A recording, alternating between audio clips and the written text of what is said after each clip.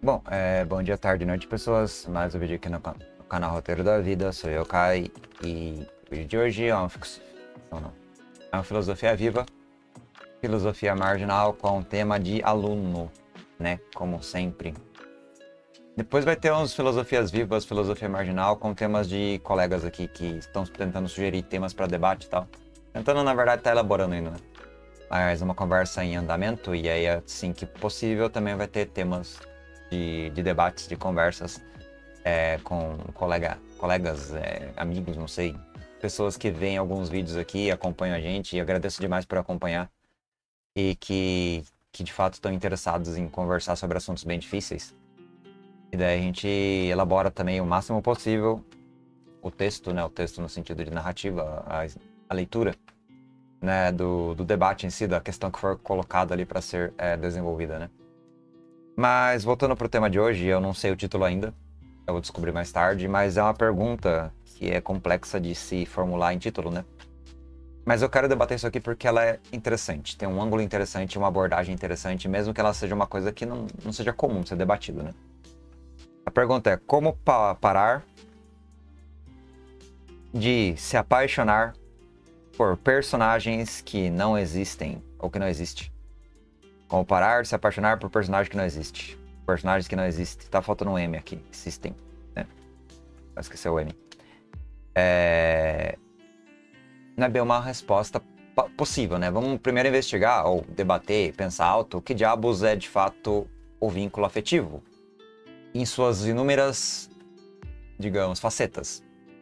A primeira faceta é a faceta de, de reconhecimento? Reconhecimento nada mais é do que ter alguém a mais além, alguém para além. Né? Alguém para além do que? De você mesmo, né? Você reconhece primeiramente eh, a mãe, né? A entidade materna, ou no caso algum membro da família, fisicamente, sensorialmente e também mentalmente, de todos os sentidos possíveis, mesmo na tenra infância, na tenra é, quando você ainda é um bebê, né, bebezinho. Quando você acabou de nascer, pós-feto, por assim dizer. primeiros momentos da, da existência fora útero, né? Fora do útero. Então, é ali que nasce o sentimento de afeto. O sentimento de afeto ele vem pelo cuidado. Ele é um carinho e ao mesmo tempo que um carinho, ele é garantido pelo prazer, né? E o prazer nada mais é do que aquele que proveu o prazer. Quem proveu o prazer é a própria mãe, né? O prazer de se alimentar, o prazer de não ter fome, o prazer de ser cuidado, o prazer de ser de, literalmente é, atendido, né?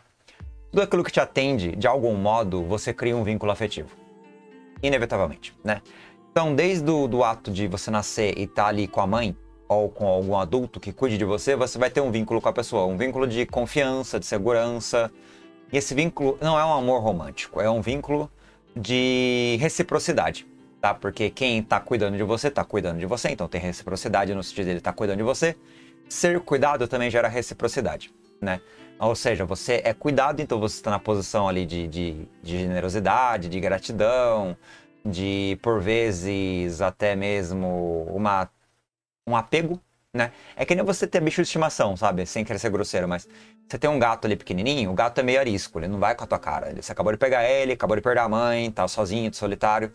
Ele vai conhecendo o território, cheirando, é, dominando, digamos, é, dominando não, mas é de algum modo se se amadurecendo, não, é péssimo. É. Como posso dizer? A palavra é péssima, não, não achei uma palavra boa. Mas ele, de algum modo, ele vai tornando aquilo ali parte dele, né? Ele vai territorializando, por assim dizer, e ao mesmo tempo e se sentindo aceito, seguro e tomando posse mesmo, né? Então, gostar de alguém é tomar posse, tá? E o gato ele vai gostando do território, vai gostando da caixinha de areia, vai gostando da ração, vai gostando da cama, vai gostando do carinho do dono, ele vai tomando posse. A posse é o quê? É você permitir que o outro é, te, de algum modo, te cause sensações positivas, né? A permissão para o outro te causar sensações positivas, tanto mentais quanto físicas, quanto é, morais, talvez.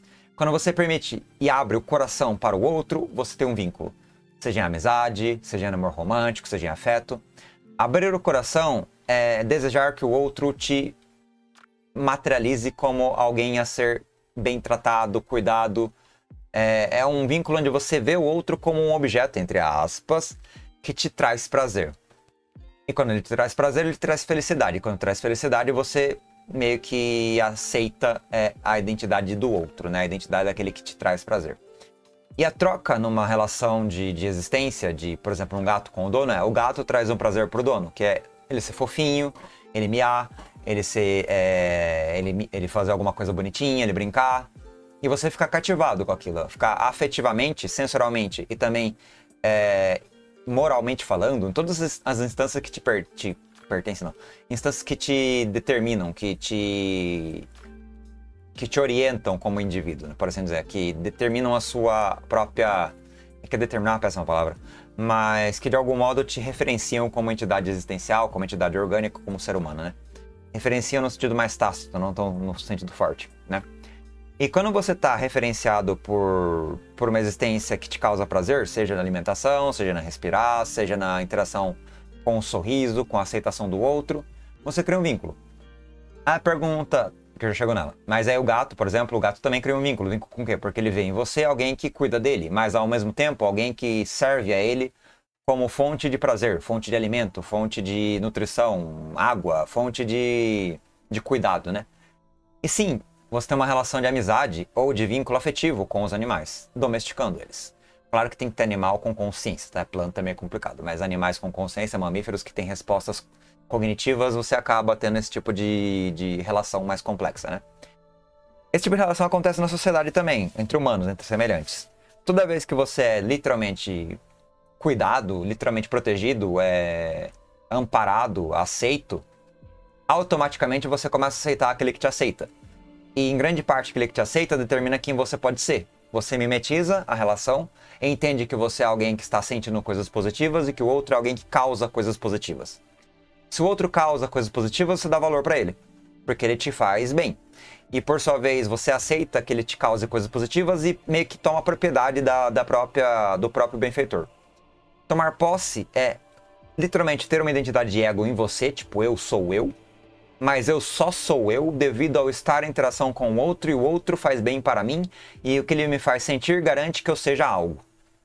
Então, a posse sobre o outro garante que eu tenha um ego. A posse sobre o outro garante que eu tenha uma identidade. A posse sobre o outro garante que eu tenha um sentimento de afeto. Eu só posso ter afeto por situações onde eu sofra, ou, no caso, interaja com prazeres ou com intensidades da vida. Intensidades físicas, intensidades é, emotivas, intensidades morais, entre outras, né? A gente é complexo como ser humano, a gente não é só camadas sensoriais e camadas instintivas, né? A gente tem outras camadas também, que são camadas que a gente entende por linguagem, né, por comunicação, entre outras coisas, né? Mas então temos aqui uma teoria, né? Eu estou teorizando literalmente em voz alta sobre o vínculo da primeira infância com o mundo. E esse mundo inicialmente é um ser humano, mas ele também é um mundo que depois que você aprende algumas coisas é o próprio mundo. O mundo traz felicidade, o vento traz felicidade, a água traz felicidade, é, a comida traz felicidade. Então você vai criando afeto, você literalmente vai dando valor para essas coisas que te traem, trazem bem-estar, né?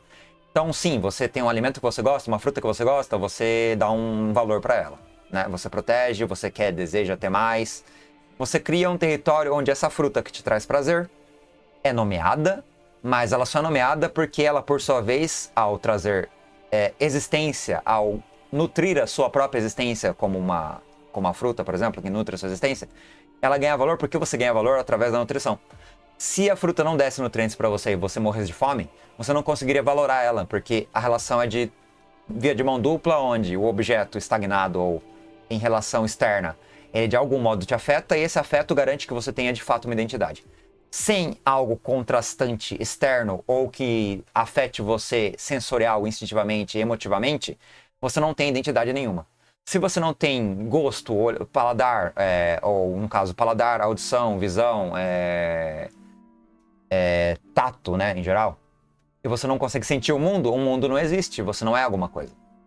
Não tem cognição, não tem mentalidade, não tem imaginação, não tem nada. Você não sonha, você não mentaliza, você está literalmente apartado da, da, da existência em relação ao outro. Se não estiver em relação a alguma coisa a qual você entra em contraste de interação, não existe possibilidade de cognição ou consciência, tá? Então você precisa do outro qualquer que seja, e você precisa usar aparatos orgânicos, os aparatos sensitivos, sensoriais e também a, a, o modo motor, né? O motor é o próprio corpo, né? O cérebro que mexe os membros e tal. Só que se você não sente o tato, você não sabe que está mexendo o membro. Se você não tem visão, não tem audição e não sente tato, como é que você sabe que você tem um braço? Você não sabe. Para você saber que tem um braço, que, que você tem uma coisa que se move e tem dedos e agarra coisas, você precisa de, de sentidos, né? Sentidos que são sentidos de orientação. Então, o partir, a partir do momento que você tem as orientações, que é literalmente a parte egóica, a parte. É, a casca orgânica, por assim dizer, você pode interagir com as complexidades do mundo. Então, o ponto é: por que você se apaixona por personagens que não existem, que são apenas sombras? Porque depois que você efetiva laços de afeto, você efetiva laços de afeto dire diretivos, ou tipo, você tem experiência dos afetos, experiência com a mãe, experiência com o irmão, experiência com o pai, experiência com os alimentos, experiência com os animais, experiência com a natureza, experiência com o ar, com o vento e tal, né? Com o vento e ar é a mesma coisa. Com o ar, com a água, com o fogo, com, com os elementos, né? Você tem experiência de vida, você está literalmente existindo em um contexto. Quando você ganha uma bagagem cognitiva onde o contexto ele é abstrato e subjetivo, aquele contexto abstrato subjetivo ele se torna materializado em ideias, em, em valores. Valores onde não tem matéria física para corresponder ao valor ao qual você coloca neles. É o valor da cultura. Tá? O valor da cultura é o valor do afeto não para uma entidade física, uma entidade material, mas para uma entidade, nesse caso, imagética, uma entidade é, que é um conceito em si. As palavras são conceitos em si, elas não necessariamente determinam a realidade. E o personagem, ou a entidade descrita em palavras, que é apenas uma linguagem arbitrária e abstrata para descrever um mundo com uma regra de comunicação também arbitrária e abstrata, isso contrastado com comparativos, que são comparativos reais e materializáveis, você entende trazendo da realidade para a fantasia, você não traz da fantasia para a realidade, você traz da realidade para a fantasia. Tudo que cai na fantasia é uma extrapolação da realidade. Tipo assim, eu imaginei dragões. Dragões têm características de répteis, características de aves, características de, de sei lá o quê, de, lá, de, de entidades ali que existem. Anjos, a mesma coisa. Grifos, a mesma coisa. É... Quimeras, a mesma coisa. Você tem características que você consegue descrever através dos sentidos, trazendo-as para a ficção a fantasia, no caso, né? Então não tem como você literalmente trazer uma fantasia de um delírio puro. Você só consegue ter uma fantasia baseada em extrapolações da realidade. Em sonhos, em, em imagens, em sons, em sentidos, tato, não sei. Ou como você aprende a realidade. Não dá para você trazer na fantasia algo original sem que isso tenha de algum modo intelectualmente, culturalmente, sensorialmente te afetado. Então, o que você está fazendo quando você se apaixona por um personagem de ficção não é um personagem de ficção. Você está trazendo uma materialidade que é literalmente uma, um desejo, um delírio de amor por uma entidade que não está mais na fantasia. Ele está literalmente na sua. Como posso dizer? É difícil falar isso. Ele está literalmente existindo na sua mente. Ele existe na sua mente de maneira palpável ele não é apenas uma entidade ilusória, ele representa em você um significado profundo. Então, o afeto que você cultiva e direciona para ele é como se ele fosse um equivalente de um ser humano na realidade. Então, você se apaixona por um ser humano na ficção que ele é uma quimera com elementos de pessoas que você viu na realidade. Mesmo que você possa, por exemplo, aprender pelos livros. Você conhece os conceitos e os livros descrevem junto a esses conceitos novas imagens que você nunca viu na vida, mas que você faz associações com coisas diversas da, do mundo, né? Vou dar um exemplo bem básico aqui. Quando eu estava lendo Senhor dos Anéis, tinha a palavra elmo. Eu não tinha a mínima ideia do que significava elmo. E eu li o livro inteiro e não sabia o que era um elmo. Só que pela, pelo modo como ele era descrito nas relações com outros elementos ali da, do livro, né? Do, dos elementos de guerra e tal, os conflitos, eu fui meio que através de uma espécie de contexto, compreendendo mais e mais e mais o que era um elmo. E depois de um tempo, acho que eu vi em algum lugar, e aí eu saquei a palavra, eu entendi que ela era um capacete militar medieval. Só que eu não sabia quando eu li o livro, porque eu nunca tinha visto a palavra na minha vida. Isso, isso aí com 13 anos, 12 anos, eu não tinha conhecimento do conceito. Então eu lia sem entender bulhufas. E eu não entendia mesmo. Eu ia seguindo e lendo, seguia e lendo e não entendia. Tinha um monte de coisa que ficava pelo meio do caminho. Mas como eu tinha uma cultura é, contextual junto a esse, esse elemento interno que eu desconhecia, o contexto enriquecia o significado do elemento, mesmo se eu desconhecendo ele. É a mesma coisa que dizer que, tipo assim, eu vejo uma cobra, eu não sei do que ela é feita, sei lá, qual órgãos ela tem, qual disposição de órgãos ela tem. Aí no livro falam dos órgãos de uma cobra.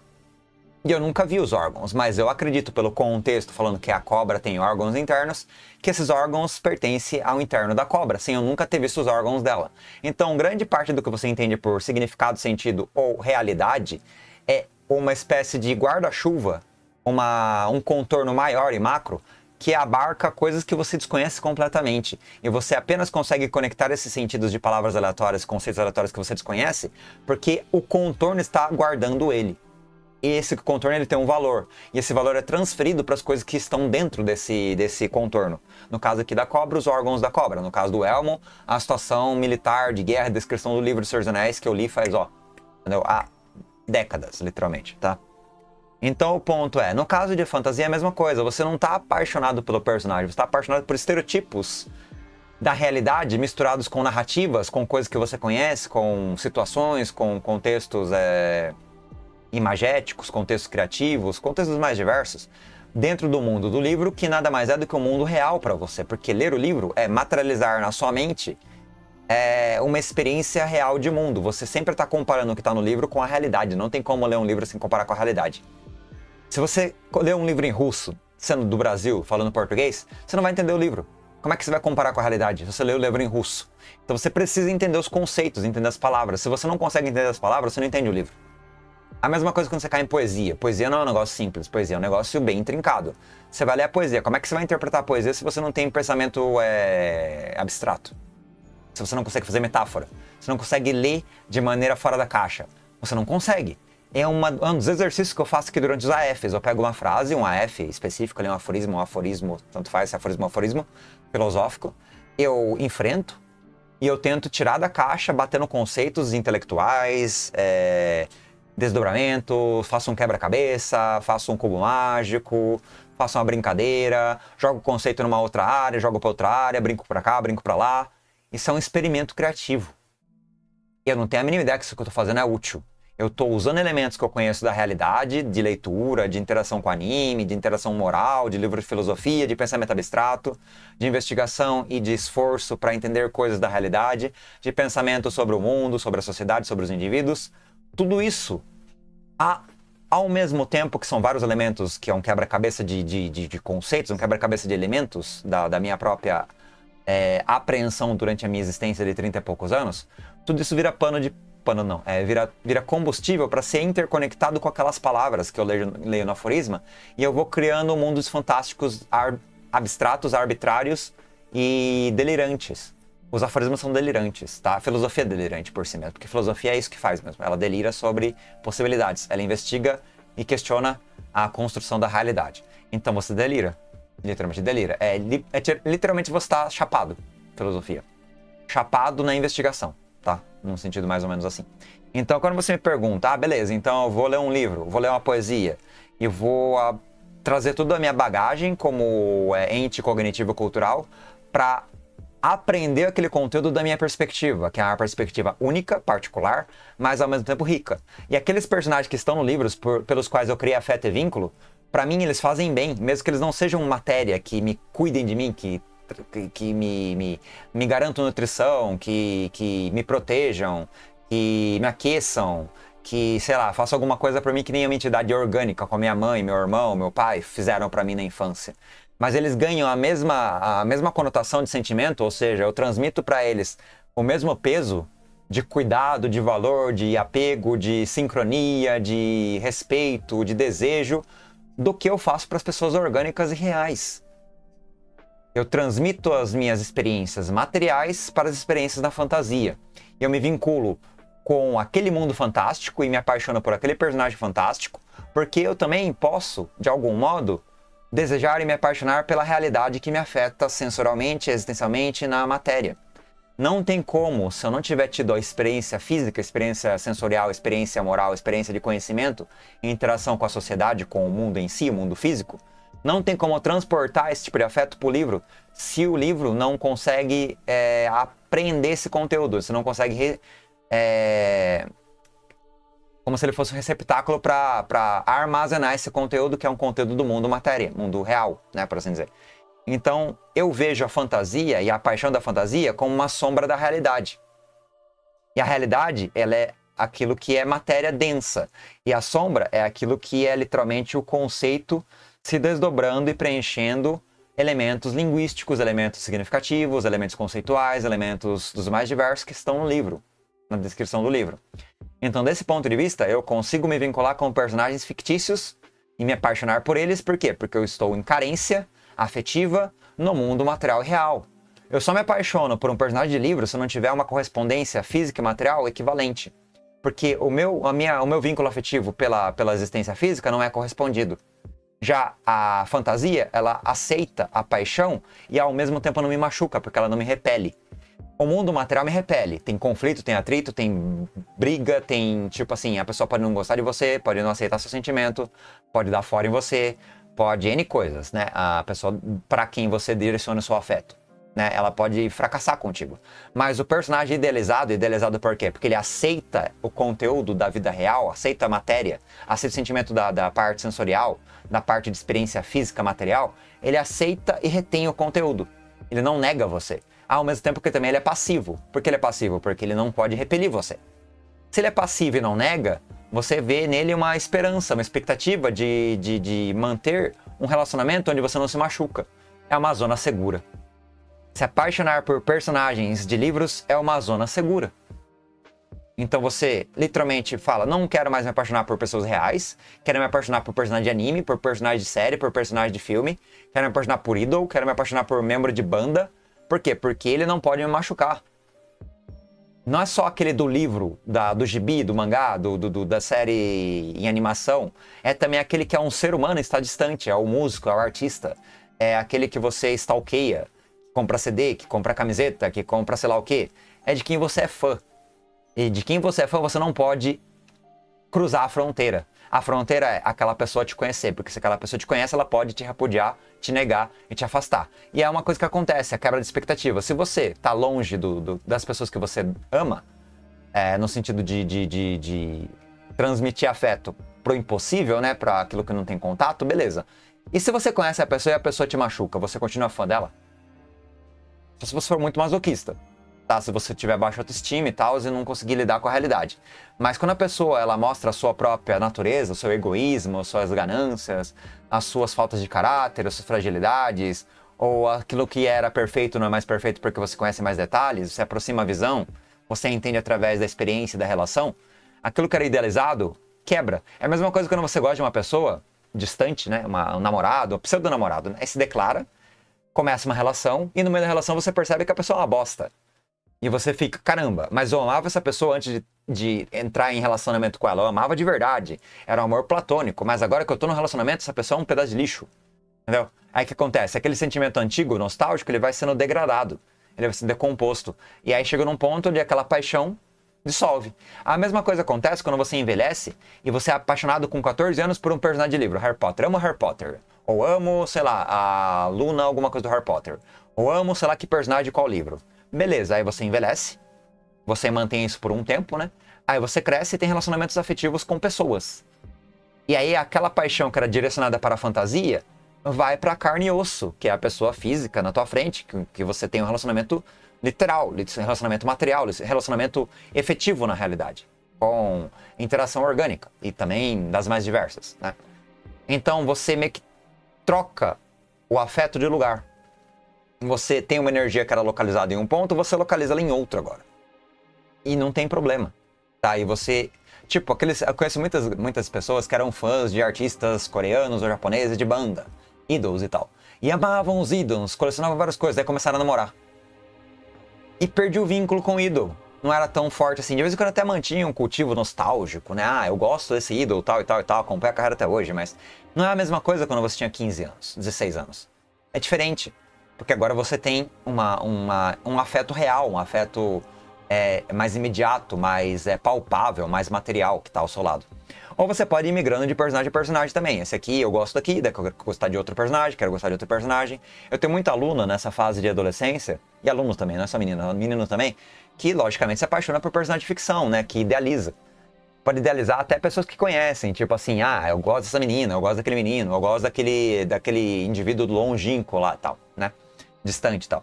Idealiza, mas não conhece a pessoa de verdade. Ela pode amar a imagem e não a relação, porque a relação não existe ainda. Ele ama a expectativa. É como você criar uma fantasia, um livro na tua cabeça, uma narrativa na tua cabeça, se apaixonar pela narrativa e a pessoa que é real e está na tua frente, ela é literalmente é, encoberta, revestida por uma roupagem que ela não é. A roupagem que você criou como expectativa, como idealização. E aí a pessoa não vai corresponder. E mesmo que você de, de, de, destrua, não, distorça, distorça completamente o que a pessoa é e acredita apenas na ilusão, a ilusão tem um limite. O limite é o tempo, por assim dizer, né? Ou talvez você consiga ficar a vida inteira alienado, anestesiado, em delírio, pensando que a pessoa é aquilo que você idealizou e a roupagem que você construiu. E não aquilo que está abaixo da roupa. A pessoa nua e crua, por assim dizer, né? Então é muito comum a fantasia, não é só nos livros, a fantasia é no dia a dia. Você cria histórias e as histórias viram verdade. Você cria narrativa e as narrativas viram significado. Você cria é, vontades e, e, necessidades, as necessidades e as vontades são indispensáveis para sua cognição. Você cria literalmente um delírio. O tempo inteiro o ser humano está delirando. O tempo inteiro o ser humano está pondo valor em coisas que não tem valor nenhum. O tempo inteiro o ser humano está pondo sofrimento e peso em coisas que não tem peso e sofrimento nenhum. O tempo inteiro estamos na ganância, o tempo inteiro estamos na amargura, na aflição, na angústia, porque estamos fazendo narrativas, não em livros. Estamos é, interpretando mentalmente, colocando um peso na nossa própria leitura sobre a realidade. A realidade não é isso. A gente sofre de antecipação, a gente sofre pela própria pela própria expectativa, a gente não sofre pela coisa real. E que se a gente encara a coisa real e ela quebra a expectativa, pior ainda. Porque a gente vai falar, não, mas espera aí, isso é um grande choque. Essa realidade aqui não era assim. Não era porque aquilo que você estava imaginando não, não, não fazia sentido nenhum, você estava literalmente delirando. E daí quando a coisa tira a pele de cordeiro, quando a coisa tira a, o revestimento que você é, dizia ser a realidade, quando você despe a coisa e vê a coisa real, no sentido mais é, seco, né? Não que a coisa real seja real de fato, ela também é uma leitura, né? Mas essa leitura mais, é, digamos, é, sincera, essa leitura mais seca, essa leitura mais honesta, ela tira a fantasia. Quando tira a fantasia, a realidade é brutal. E você colapsa na realidade, tá?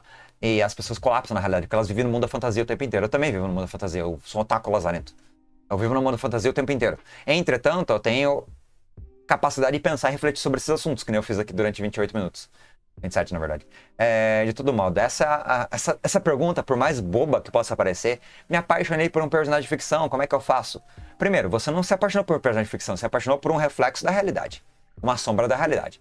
Segundo, tudo bem, qual o problema? Só que ele nunca vai corresponder, então isso é positivo para você, porque ele nunca vai te machucar. Agora, se você se apaixonar por alguém que é de carne e osso, ou cria na realidade expectativas e idealizações sobre as coisas que acontecem ao redor, é, obrigando as coisas a dançarem a música que você deseja, se eles param de dançar a música que você deseja, você colapsa. Sua realidade vai virar farinha, vai virar cinzas. É que nem um bolsonarista que pensa que o Bolsonaro não é golpista. Ou que ele não é corrupto. Ele não aceita. A realidade paralela dele tem que ser a narrativa. A narrativa é o certo. Ele vai colocar a culpa no PT, vai colocar a culpa na esquerda, vai colocar a culpa em alguém. A mesma coisa também com o esquerdista também. Não é só direitista que faz isso, esquerdista também faz uma narrativa. Se não encaixa a narrativa, ele não nega a diversidade, nega o questionamento, nega a refutação. Acontece com o cientista também, quando o Big Bang é colocado em dúvida. Eles negam que vai ser colocado em dúvida, eles ficam na fantasia. A fantasia nada mais é do que um apreço pela, pelo conhecimento adquirido, pela verdade cultivada. E a verdade pode simplesmente dissolver na tua mão, evaporar em um instante.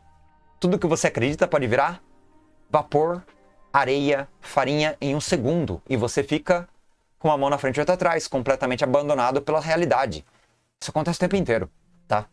Com, com N motivos, com N perspectivas, com N raciocínios. Então, isso daqui da fantasia, do personagem do livro, você mesmo é um escritor, o tempo inteiro você é um escritor, o tempo inteiro está narrando uma realidade. E não apenas narrando, mas vivendo na narrativa alheia. Porque você adere a verdades e a correspondência a significados que os outros passaram para você, porque é a cultura em si. Então você aderiu a, uma, a, um pensamento já materializado, já sólido, já estipulado, já concreto, e você vive numa realidade paralela junto à fantasia que alguém disse para você, descreveu, você simplesmente comprou. aceitou e não questiona, né? E fica ali, na narrativa. É quando você vai para a escola e você chega na faculdade e você copia e cola o que falaram para você porque você confiava nos intelectuais. E não adianta querer confiar no intelectual, todo mundo fracassa na última instância. A realidade ela nunca pode ser captada ou aprendida ou dominada. Ela não, não, não é possível você controlar a realidade, dominar a realidade, aprendê-la, é, esvaziá-la. Não é possível. Você não consegue, mas sempre está na ambição. E a ambição dói. O sofrimento humano é isso também, né? Então, esse é um ponto de fuga surreal para um debate incrível, tá? Essa questão da Luna é ótima, tá? Porque o tempo inteiro eu também estou vinculado com fantasia, me apaixonando por camadas, por, por idealizações, por, digamos... Eu, eu, eu ganhei tanto hábito de desconstruir e de ver de maneira mais neutra os outros que eu não idealizo mais as pessoas. Eu olho para as pessoas como elas são e aceito as diversidades e os defeitos. E eu não fico ali pensando, ah, você é isso, você é aquilo, você é linda, não sei o que lá, você é perfeita. Não, para mim é tudo uma bola de carne ou uma, um osso revestido de carne e que talvez seja legal de conversar, talvez seja legal de interagir. Eu fiquei nesse sentido sexual, no sentido de romance, assexual até certo ponto, porque eu não tenho mais esse deleite, esse delírio, essa paixão, que é parte da, da, da, da insanidade da valoração do outro da, de colocar o outro em púlpito, né? Eu perdi um pouco disso, então perdi a magia do negócio. E perder a magia é um pouco complicado, porque você meio que não vê mais os outros como especiais e tal.